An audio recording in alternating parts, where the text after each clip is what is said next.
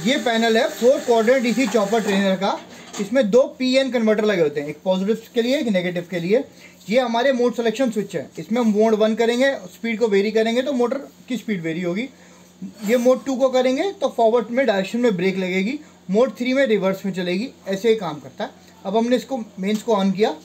अब हमने इसको ज़ीरो करके स्टार्ट किया। यहाँ डिस्प्ले पे दिखा रहा है फोर क्वाड्रेंट चॉपर ट्रेनर अब हमने किया इसको स्टार्ट यहाँ दिखा रहा है select mode for DC chopper अब हमने सेलेक्ट किया मोड वन अब ये दिखा रहा है स्पीड अब हमने इसको सेट किया। और ये हमारी इधर आ गई हमारी। हमने फिर से किया तो हमारी परसेंटेज दिखा देगा कि हमारी कितनी परसेंटेज स्पीड सेट हो गई और ये चल रहा है। अब दूसरा इसका मोड होता है जिसमें ब्रेकिंग लगती है। जैसे मैं इसे दबाऊँगा तो ये मेरी ब्रेक लग गई। तो ये होती है इसकी proper working DC chopper trainer की।